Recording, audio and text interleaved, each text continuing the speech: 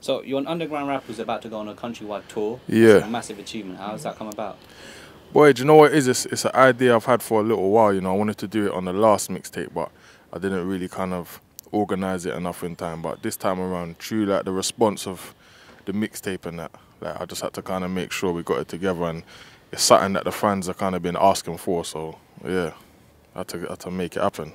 We've seen you pushing your BXB clothing line and you're wearing it now as well. Yeah, yeah, yeah, hard, Just yeah. explain for everyone what that is. Is it yours? Is it? How's that Yeah, yeah, it's mine. Obviously, like we had the the bags and boxes top before, you know, but it's like it was a bit much for everyone to, like I said, be walking around with bags and boxes on their top. So, you know, we wanted to clean it up and you know change it into BXB. Obviously, it's still bags and boxes, if you know what it means. It can mean other things to you, you know. Can mean what you want it to mean, you know. yeah, I but saw you retweet. It's not a clothing line. It's a mentality. So it's a mentality, you know. Like obviously as well, like I do. I don't know if you've seen like um like the money quotes thing that I do. Do you understand? It's like basically it's just more getting everybody in there in that kind of bags and boxes mind state. Do you know what I'm saying? That you know getting money mind state. So you know if you look on the Insta, we got the money rules and stuff like that. You know people think I don't write them. Yeah, I do actually write them. You know. So it's just it's it's just more than just a clothing brand. So All your mixtapes, all the bags and boxes series do very well. yeah. How come you haven't marketed them as like an album? Um, I haven't I haven't called them an album because it's like when I do an album, I don't think I would do an album like that. Do you understand? I would kind of more sit down, structure it a bit more, get a bit more different collabs and stuff like that. But you know, when the album's coming, you know about it, man. So Yeah, bags and boxes free hit number 46 in three days. Yeah, That number 42, on. I think. So, what do you think about that? Um, yeah, bags and boxes. You know, we yeah we hit. It wasn't even 46. It was 42, I think, in the official charts. You know, I mean, it just goes to show, and that something you know a few people might not know is that I actually released it on the wrong day. Do you understand? Like, if I released it on a Sunday, I would have got the full weeks. You know, count. All the sales would have gone towards the next week's um chart count. Do you understand? So it's like with only three days, I still managed to get to number 42. I mean, couple people within the industry have told me, you know, if I actually released it on the right day, I might have had a, you know, a top 20 selling mixtape. So, you know, but it's just one of them things, you know, we can do it right the next time, you know. Grime's popularity is at an all-time high at the moment. Yeah. Is it? Is that something you're, gonna, you're more of a hip hop guy? Is Grime ever something you're gonna jump on? Um, no, you know, obviously I see Grime. you know, Grime's back in, is back in right now. I mean, is it something I would jump on? I, I used to do Grime back in the day, you know, but I was always a rapper. But, you know, I think where people are kind of more used to seeing me, you know, do the rap, you know, that's kind of more my thing. That's what I've grown into. I don't really think I'll be, um, I don't think I'll be jumping on the Grime. I mean, I heard Skepta Shutdown tune. I like that beat. I was thinking of doing something on that beat, but, you know, I don't think, yeah, you won't, you ain't gonna hear no Grime tunes from me now. You've seen all the clashing going on, like recently Yeah, yeah. this year. You stayed quiet on it, and obviously Yeah. nothing said. But have you got any thoughts on that? And like all the clashing what between the Grime MCs. Yeah. Do you think? Do you like obviously Yeah. Bugzy's on your tour now? yeah, yeah. you probably wouldn't have been before the Chip beef, if that's fair to say. Nah, that's not fair to say. Fair to say. Because um, what what we was doing with the tour is like every date. I said I wanted to make sure every area I go to, I put on a local act. Do you understand? Like I want to kind of, you know what I'm saying, give something back. So Bugzy was actually on the tour from Okay. before the Chip beef. Anything, yeah, it was always on the tour. So I've seen a few of the bags and boxes tour dates changed. What's Yeah. gone on there?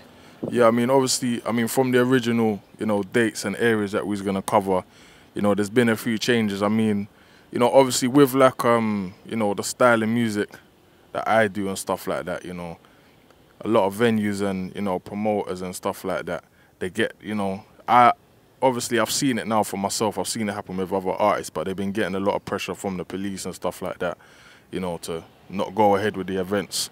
So that's why things have been chopping and changing. I know we had Nottingham, Nottingham on there originally, and we had to take that off of the we had to take it off of the lineup. You know, I've seen a lot of people tweeting me, Instagramming me, you know, upset about it. But you know, that's kind of something that was out of my hands. So, but yeah, you know, obviously we're still, you know, we're still going ahead. We're not letting it stop us. But yeah, that is the reason why. You know, you've seen dates and areas change and stuff. Some of the clothing sold out straight away, like as soon as it dropped. Would Yeah. they- Would they be able to buy that at the show? Is there merchandise there? Yeah, yeah, no, there's definitely, you know, there's merchandise at the show, you know, every date there's gonna be, you know, we're gonna have the, the big print tees, the small print tees, but yeah, you know, the small prints, sold out first day within two hours. You know, you know, obviously people been asking for clothes for a little while and stuff like that, but I wasn't expecting the demand to be that crazy. Do you understand? And the units we've done in the first week has been, well, I kind of weren't ready for it. Do you understand? Hats and tees just went flying. So, but yeah, they're back online. You know, bxblondon.com or bxbldn.com. That's where you find it. So yeah, man, they're back.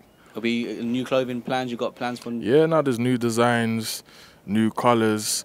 Obviously, it's you know summer now, so you know there's gonna be a couple different summer drops coming, and you know just yeah, like check on the website and just you know keep checking the Instagram. You'll see the new designs and stuff like that. But yeah, like I said, I wasn't really kind of ready for the you know the rush that came with it. So it's a good look, man. So you said you got some local rappers there. So Bugzy Malone's going to be in Manchester, Saf One in Birmingham, Yeah. In Bradford. That's Who else right, have you got lined up? Um, you know, obviously we've got a few, you know, known names that you know I've worked with before. Like we got Jay Spade, he's coming Manchester and Birmingham. Fekky's gonna do Bradford.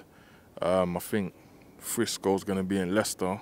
You know, and obviously I've got Youngs Teflon. He's gonna be on all the dates with me, supporting the tour as well. So, you know, also we got Mental K. You know, you just the acts that you used to seeing me work with. But yeah, you know, obviously I kind of, you know, a lot of the music that I've made with people, people are gonna want to hear it. So I have to bring out, you know, Is it a Bags and Boxes tour one, two, and three? yeah, yeah. So all the classics. You're gonna get all the classics. You know, I've tried to, you know, we've been doing rehearsals, getting it together, getting the set together, trying to pick the best tunes. You know, the tunes that everybody likes, and so yeah, you're gonna be in for a good surprise, man. So like you said already, you like mainly doing rap music. Yeah. But I've noticed you got a few grime artists on your show. How come Yeah. you decided to go that way?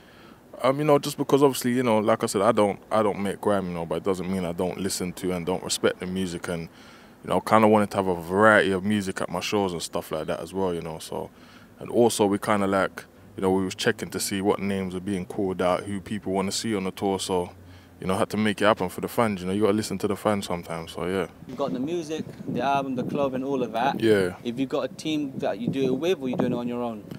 Um, you know, obviously, a lot of the kind of different ventures I got going on, I've kind of got like partnerships kind of going on. Yeah, kind of like a team, but you know, more like a one-on-one basis. Like the clothing, you know, a lot of it is kind of my idea, my name. I sat there and done the design, but as far as like the behind-the-scenes running of it, yeah, you know, obviously I've got a partner with that. The tour, you know, again, it was my idea, kind of put it all in place. But then I teamed up with um, Black Diamond Entertainment and Catalyst, so they're like behind that.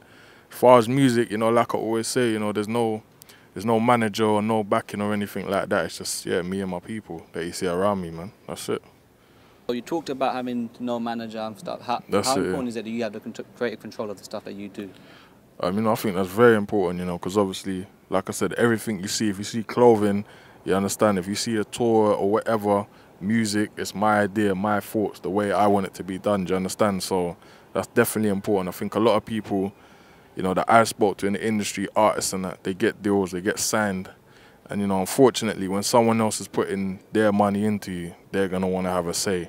And they're going to say, you know what, I don't like this song, I don't like this, I don't like that and kind of hold you back. So, you know, obviously being independent, you know, you're your own boss. So it's just like, yeah, that's that's very important for me and what I'm doing. That's not, is that like a road that you'd recommend to other people as well? I mean, it's not for everybody. I mean, some people they're kind of they're not really, you know, their mind they're not really built like that. So they kind of have to have managers and people and someone behind them telling them what to do, backing them, funding them, pushing them. Whereas, you know, I think doing stuff by yourself, you know, like I said, you got your own control, and it's like as well. If you got a manager a label, when they walk away and leave you, you don't know anything. If you do everything by yourself, along the way, like I know how to do everything now. Not everything, but you know, people can't come and, you know, try and chat rubbish to me. I know what's going on. Do you understand?